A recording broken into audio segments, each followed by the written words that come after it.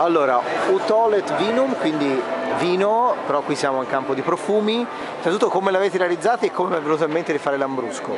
Beh, Lambrusco perché siamo di Modena e quindi il progetto nasce appunto dal nostro territorio.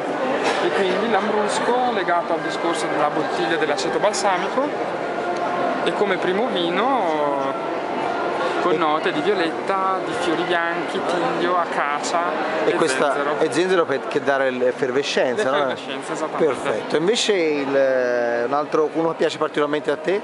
Moscato bianco. Moscato bianco, per la dolcezza oppure Per il perché ricordo. per il ricordo del Esatto, vabbè, legato. dell'infanzia, Ah, ok. di quando ci facevano vendemmiare Il moscato, e quindi Esatto. un chicco a me e un chicco a te. Esatto. Grazie. Grazie a te.